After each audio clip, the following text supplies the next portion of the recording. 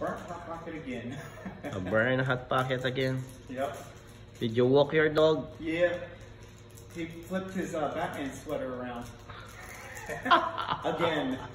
Again? Yep. Did, did he go to the neighbor? No, he wasn't home today. He didn't want to. Oh, He wanted to hurry up, get in, get out. I mean, get out, get in, and go back to watching Paw Patrol. oh, that's watching Paw Patrol. So do you leave the TV all day long? Yeah. Really? Yeah. Or else he'll start whining all day long. Dang, that's gonna be expensive. Yeah, I know. Oh, man. Uh, oh, so this is Mr. Nicholas Maxwell. He's my coworker here in DCTS. Oh no, DCTC.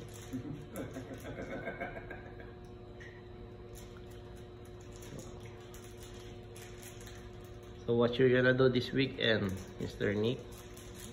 Um, I have no idea yet.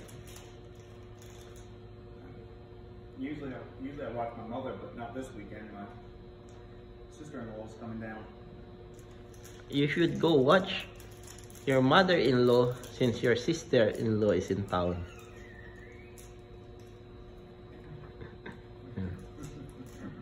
You watch both of them just to make sure.